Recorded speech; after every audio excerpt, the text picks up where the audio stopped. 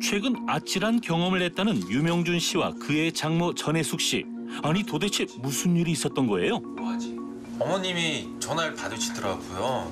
그러더니 막 부랴부랴 막, 막 안절부절 못 하신 다음에 아 나가시는 거예요. 어, 어머니 어디 가세요 하니까 아우 지금 큰일 났어. 돈 보내러 가야 돼. 뭐 내 통장 뭐 지금 뭐 범죄 연루됐다고 난리가 아니야 막 이러시더라고요. 그 어머니 가시면 안 돼요. 말렸죠. 정말 가슴이 철렁했죠. 나한테도 이런 일이 생길 줄 진짜 저는 몰랐죠. 그날 이후 끊임없는 공부로 보이스피싱 예방 고수가 됐다는 명준 씨. 명준 씨가 알려주는 보이스피싱 예방 꿀팁이 있다고요? 첫 번째 꿀팁, 은행의 지연 이체 서비스를 이용하는 건데요. 거액을 과거 거래 내역이 없는 계좌로 이체 시 일정 시간이 지난 후 입금되는 서비스입니다. 그날 오후 한가로운 시간을 보내던 전혜숙 씨에게 걸려온 한 통의 전화. 유서방 이리 와봐. 예. 근데 이 모르는 전화인데 자꾸만 전화가 오네. 전화가요? 장모님은 낯선 번호가 영 의심스럽기만 한데요. 어, 제가 한번 이거 알아볼게요. 응, 한번 알아봐.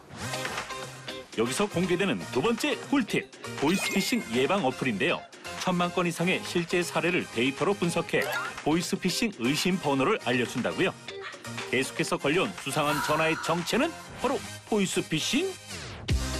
모르신다는 번호 있잖아요. 음, 보이스피싱. 보이스피싱.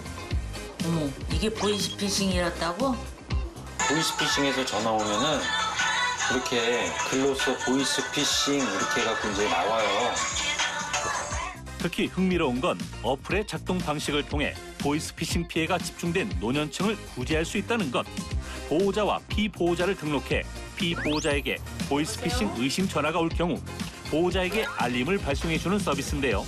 이를 통해 보이스피싱 피해를 효과적으로 예방할 수 있다고 합니다.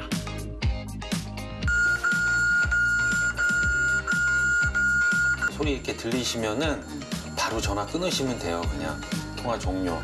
이렇게. 보이스피싱을 예방할 수 있는 방법을 알게 돼서 확실히 좋았고요.